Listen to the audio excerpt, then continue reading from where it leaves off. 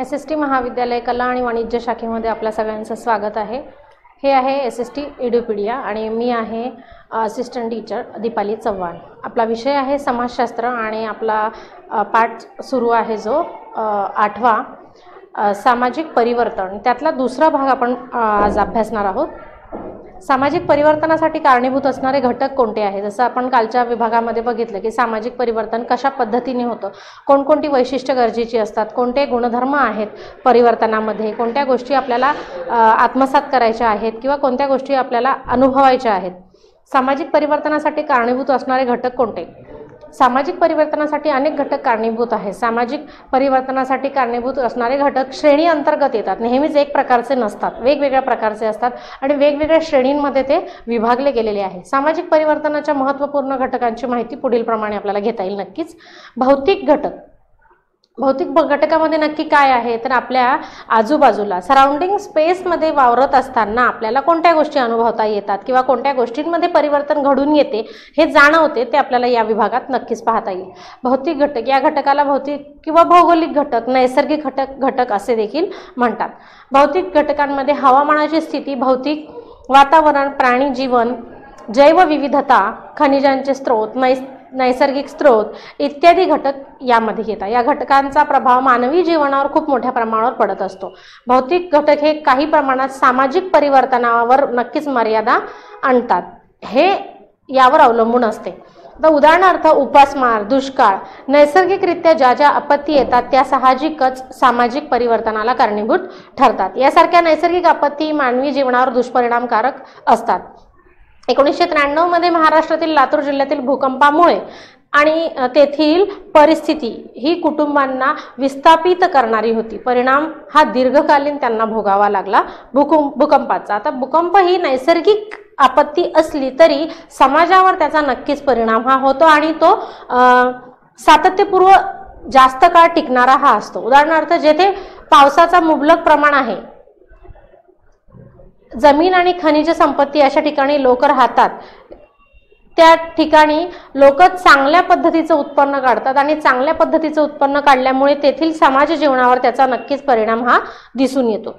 दुसरीकडे मानवी वर्तनाचा देखील भौतिक वातावरणात खूप मोठा परिणाम आहे. उदाहरणार्थ औद्योगिक पर प्रदूषणाचा वातावरणात होणारा परिणाम म्हणजे ज्या पद्धतीने नैसर्गिक आपत्तींचा परिणाम हा समाजावर होतो तसेच मानव कशा पद्धतीचा परि परिवर्तन करत आहे स्वतःच्या येणाऱ्या या व्यवसायांमध्ये औद्योगिक क्षेत्रामध्ये कशा पद्धतीने टेक्नॉलॉजीचा वापर करत आहे आणि ते ते करत असताना वातावरणावर आणि साहजिकच वातावरणाबरोबर समाजावर त्याचा काय परिणाम होतो हे इथे नक्कीच जाणवू शकतं. प्रदूषणामुळे वातावरणावर परिणाम हा होतो अनुषंगाने जागतिक तापमान वाढणार तसेच वितळत चाललेले ध्रुवावरील बर्फ समुद्रात पाण्याची वाढणारी पातळी या सगळ्या गोष्टींना आपल्याला फेस करावं लागणार आहे. आणि या सगळ्या गोष्टी फेस करत असताना एकीकडे आपत्ती आणि एकीकडे ह्याचा होणारा समाजावरचा परिणाम. परिवर्तन यालाच म्हणता येईल. त्यामुळे आजच्या परिस्थितीत सर्वांनी शाश्वत विकासाच्या जाणीवपूर्वक प्रयत्नांना प्रोत्साहन द्यायला पाहिजे. कशा पद्धतीने आपल्याला विज्ञान आणि निसर्गाचा समतोल हा सांभाळता येईल आणि तो सांभाळत असताना समाजावर होणारे परिवर्तन हे कशा पद्धतीने हे पॉझिटिव्ह असतील हे आपल्याला नक्कीच अभ्यासता येईल आणि आपल्या वागण्यातून या सगळ्या गोष्टी काय होणार आहेत आपल्याला पाहता येणार आहेत. तर जैविक घटक या घटकाला लोक लोकसंख्येचे घट लोकसंख्या किंवा लोकसांख्यिकीय घटक असं देखील म्हटलं जातं. जैविक मर्यादेमध्ये जे घटक समाविष्ट आहे ते सामाजिक सातत्य सातत्याची आहे. विभाग शासन लोकसंख्येची वाढ किंवा स्पर्धा. अन्न निवारा बेकारी निकृष्ट आरोग्य घर मनाचा निकृष्टता तसेच त्याचा होणारा नक्कीच काय परिणाम आहे समाजावरचा? लोकसंख्या कमी लोकसंख्या देशात विकासावर कशा पद्धतीने परिणाम करते? ह्याचा थेट म्हणजे लोकसंख्या वाढीचा थेट परिणाम हा कशावर होणार आहे? तर आपल्या समाजावर होणार आहे. लोकसंख्येच्या आकारमानामुळे सामाजिक आर्थिक विकास या संधींची उपलब्धता यावर परिणाम होतो. उदाहरणार्थ काही समाजातील ज्येष्ठ नागरिकांची वाढती लोकसंख्या तर काही युवका काही समाजातील युवकांची घटती लोकसंख्या. हा देखील समाजातला परिवर्तनाचा मोठा भाग मानला गेलाय. नक्कीच हा परिणाम होतो ही नवीन आव्हानं देखील निर्माण करून जातो. सामाजिक सांस्कृतिक घटक. पुढचा पॉईंट आहे. मानवी संस्कृती परिवर्तनाचे प्रक्रिया समाजाच्या एका सांस्कृतिक घटकात होणारे परिवर्तन संपूर्ण सामाजिक बदलासाठी कारणीभूत होऊ शकते.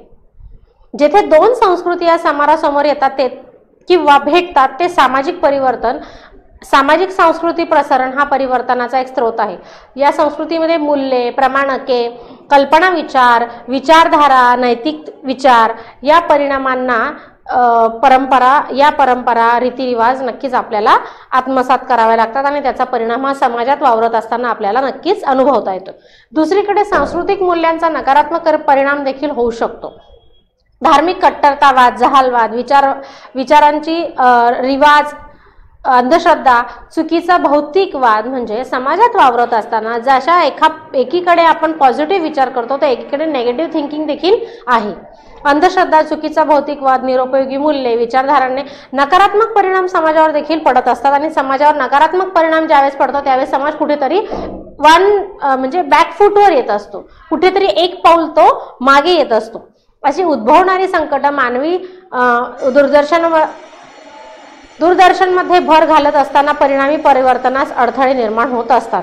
म्हणजे विज्ञानाची कास जरी आपण धरलेली आहे तरी अजून अशा काही ठराविक गोष्टी आहेत की त्यांची कास आपण सोडलेली नाही आणि त्या ठराविक गोष्टींचा समाजावर परिणाम हा होत असतो. आर्थिक घटक. सामाजिक परिवर्तनामध्ये या घटकाला खूप महत्त्व आहे. मानवी इतिहासातील आर्थिक घटकाचे टप्पे आर्थिक परिवर्तनाबरोबरच राजकीय आणि सामाजिक परिवर्तनाचे देखील निर्देशित करत असतात. प्रगत राहणीमान आणि मानवी कल्याण हाच आर्थिक परिवर्तनाचा मूलभूत हेतू आहे. पुढचा पॉइंट आहे तांत्रिक घटक. टेक्नॉलॉजीचा आपण कशा पद्धतीने वापर करतो आहोत किंवा समाजामध्ये त्याचे कसे पडसाद उमटता आहेत हे आपल्याला पाहायचं एखाद्या समाजातील तांत्रिक प्रगती हा त्या समाजाच्या सभ्यतेचा मोठा मापदंड समजला जातो.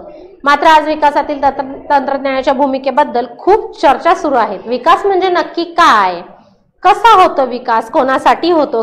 विकासासाठी किती किंमत मिळते किंवा किती खर्च करावा लागतो? असे सर्व प्रश्न आज उपस्थित झालेले आहेत. म्हणजे विकास एकीकडे बोलत असताना ज्या ज्या वेळेस आपण प्रगती करतो आहोत किंवा आपली प्रोसेस ही चालू आहे कसली?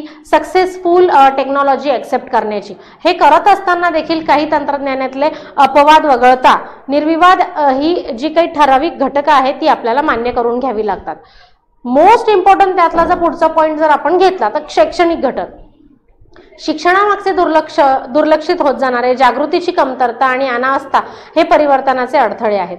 काही अजूनही ठराविक ग्रामीण भागांमध्ये खेड्या पाड्यांमध्ये ठराविक वाड्यां वस्तींमध्ये शिक्षणाची असलेली ही वाहती धरा अजूनही पोहोचलेली नाही या जागृतीमुळे या कमतरतेमुळे अजून बरेचसे विद्यार्थी शिक्षणापासून वंचित आहे. दुर्लभ असे काही विभाग आहेत की तिथपर्यंत शिक्षण अजून पोहोचलेलं नाहीये किंवा शिक्षण घेण्याचे फायदे त्यातून होणारी आपली प्रो प्रोग्रेस याची अजूनही बऱ्याचशा विभागांमध्ये जाणीव नाही आहे जर आपण अजूनही जर सर्वे करण्याचा प्रयत्न केला ठराविक भागांमध्ये ठराविक खेड्यापाड्यांमध्ये ग्रामीण वस्तींमध्ये वाडींमध्ये शिक्षणापासून वंचित असणाऱ्या विद्यार्थ्यांची संख्या ही बरीच आहे. परिवर्तनात अडथळे निर्माण करतात. विविध साधनांद्वारे शिक्षण औपचारिक शिक्षण शिक्षण अनौपचारिक खुले दूरस्थ दूर अशा विविध संधींद्वारे विद्यार्थ्यांना शिक्षण उपलब्ध करून दिले जाते. मात्र तेथेही विद्यार्थी वंचित असल्याची संख्या ही वंचितांची संख्या ही नक्कीच पुढे येते. समाजातील सर्व घटकांना शिक्षण पोहोचवण्यासाठी शासनाने मोठ्या प्रमाणात प्रयत्न केलेले आहेत. मग ती जनजागृती असू दे किंवा त्यात असणारी कमतरता असू दे या दुर्लक्षित घटकांकडे शासन नक्कीच योग्य दिशेने परिव योग्य दिशाने दिशेने परिवर्तन करत आहे हे आपण पाहतो आहे. मानवी समाजामध्ये सर्वात परिवर्त परिवर्तन होत असेल ते आपण अनुभवतो आहोत या पाठामध्ये. कशा कशा पद्धतीने परिवर्तन होते आहे? त्यातला पहिला पॉइंट येतो जैव परिवर्तन जैविक परिवर्तन म्हणजे निसर्गात राहून निसर्गाशी कनेक्टेड असताना कोणत्या गोष्टी फेस कराव्या लागतात किंवा कोणत्या आपत्तींना आपल्याला तोंड द्यावं लागतं आणि आपत्ती का उद्भवतात? याचा मूळ अभ्यास करणं गरजेचं आहे. समाजात वावरताना परिवर्तन होत असेल तर ते सांस्कृतिक. सांस्कृतिक जर परिवर्तन होते आहे तर नक्कीच आपल्या आधीच्या काळात ज्या ज्या गोष्टी होऊन गेल्या आहेत त्या देखील आपल्याला तितक्याच गरजेच्या आहेत. त्यातून देखील आपल्याला शिक्षण घेते येण्यासारखं आहे किंवा न्यू जनरेशनसाठी प्रबोधनासाठी ते एक साधन आहे. मनोरंजनाचं देखील साधन आहे पण प्रबोधनाचं जनजागृतीचं ते एक साधन आहे. शिक्षणाच्या हेतूसाठी सामग्रींचा अध्यापनाचा अध्यापनामध्ये टेक्नॉलॉजीचा तंत्रज्ञानाचा कशा पद्धतीने उपयोग करून दि दिला जातो? उदाहरणार्थ जर आपण म्हटलं तर आधी ब्लॅकबोर्ड होते. फळा हा प्रकार होता. फळ्यामध्ये आता स्मार्ट बोर्ड आलेला आहे. मग ही काय आहे? तर होणारं परिवर्तन. शैक्षणिक परिवर्तन याला म्हणता येईल. म्हणजे समाजात वावरत असताना अगदी जर आपण ऑब्झर्वेशन केलं निरीक्षण केलं तर छोट छोट्या गोष्टींमध्ये आपण काय करत आहोत? प्रगती करत आहोत. आपली प्रोग्रेस होते आहे. आणि ही प्रोग्रेस होत असताना आपण तंत्रज्ञानाची विज्ञानाची कास सोडलेली नाहीये. या गोष्टींचा सगळा अभ्यास म्हणजे सामाजिक परिवर्तन म्हणजे नक्की काय? तर या सगळ्या गोष्टींचा नक्कीच आपण अभ्यास आज इथे अनुभवलेला आहे. म्हणजे दुर्लक्षित होणारे घटक कोणते आहेत? त्या दुर्लक्ष दुर्लक्षित होणाऱ्या घटकांवर आपल्याला नक्कीच काय अभ्यास करायला पाहिजे? कशा पद्धतीने काम केलं पाहिजे? आणि मोस्ट इम्पॉर्टंट त्यात जर असेल तर शिक्षण. शैक्षणिकदृष्ट्या आपण कशा पद्धतीने सबळ असणं गरजेचं आहे? म्हणजे परिवर्तन परिवर्तन एकीकडे जर बोलत असू आपण तर परिवर्तनासाठी मोस्ट इम्पॉर्टंट ज्ञान ग्रहण करणं आहे. जोपर्यंत आपल्याला सगळ्या गोष्टींचं ज्ञान ग्रहण होत नाही तोपर्यंत आपण हव्या त्या गोष्टीमध्ये होणारं परिवर्तन अनुभवणार नाहीत किंवा परिवर्तन करण्याची जेथे आवश्यकता आहे तेथे आपण बोलू शकणार नाही. त्यातलं जर उदाहरण घेत घ्यायचं झालं तर अंधश्रद्धा. हा देखील इम्पॉर्टंट पॉईंट आहे परिवर्तनासाठी. जसं त्यातल्या त्याचं उदाहरण घ्यायचं झालं तर नरेंद्र दाभोळकरांनी अंधश्रद्धा निर्मूलन समिती स्थापित करून समाजामध्ये परिवर्तन घडवून आणलं. म्हणजे छोट्या छोट्या गोष्टींमध्ये होत असलेलं परिवर्तन आपल्याला अनुभवता आलं पाहिजे किंवा जेथे आपल्याला कुठे आपल्याला अप्लाय करायचं आहे परिवर्तनाचा तिथे आपण सुरुवात नक्कीच केली पाहिजे. या पाठामध्ये आपण नक्कीच जे पॉईंट्स अभ्यासले ते नक्कीच समजले असतील. ही आशा धन्यवाद.